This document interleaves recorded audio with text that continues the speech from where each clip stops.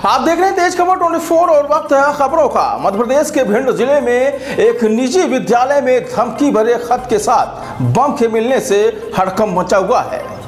बम के साथ जो खत मिला है, उसमें बीजेपी विधायक भदौरिया जी के नाम का भी उल्लेख है, जिसमें भदौरिया सहित सात स्कूलों को बम से उड़ाने की धमकी दी गई है।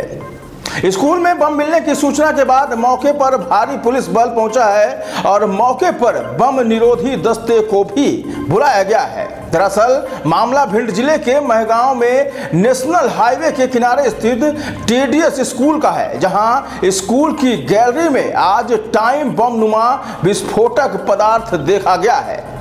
बम के साथ एक धमकी भरा खत भी मिला है। बता दें कि इस धमकी भरे खत में सात स्कूलों को उड़ाने की धमकी दी गई है। साथ ही खत में यह भी लिखा है कि सात बड़े स्कूलों में बम रखा गया है। बचाना है तो बचा लो। इस धमकी भरे खत के बाद से बम मिलने और स्कूलों को उड़ाने की धमकी के बाद प्रशासन में हड़कम मचा हुआ है। आपको बता दें कि मामले की खबर फैलते ही इलाके के लोगों में दहशत का माहौल भी व्याप्त है। फ़िलहाल पुलिस ने आसपास से लोगों को हटा दिया है और बमों की तलाश की जा रही है।